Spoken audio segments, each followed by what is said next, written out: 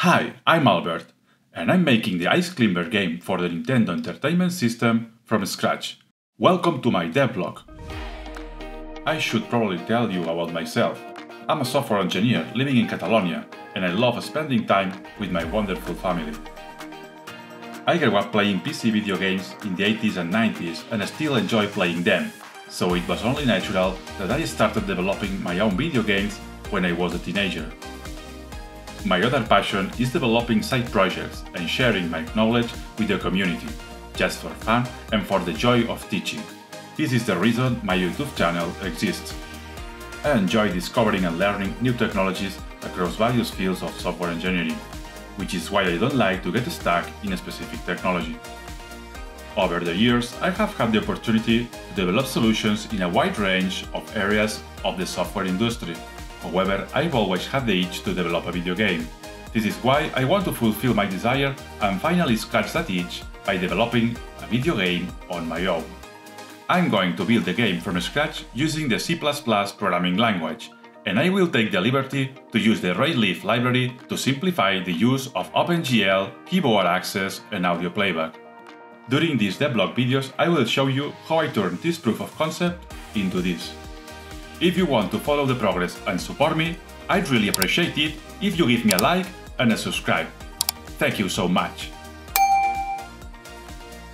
Conceptualizing, designing, and developing an original video game from zero is not an easy journey, especially considering that my experience making games is limited. That is why I have chosen to remake an existing game that has low complexity in terms of visuals and very limited and clearly defined features.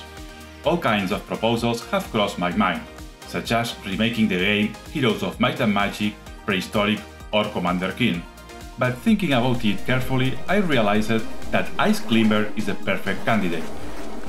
The game itself is simple and entertaining. The graphics and animations are very basic and this is a point in my favor, since my main skill is programming. The levels are small and easy to design, yet they contain a variety of characters and style elements that interact differently with the player and the environment, and this makes each gameplay unique. My first steps will be analytical in nature. I will start by reading the game manual and playing a few sessions of the original game. This way I will have a global understanding of all the rules, goals and objects. In the next video I will deconstruct the game. It means I will find the features that play an important role and study its details. Among the challenges I should face will surely be collision detection and changes in the state of the objects.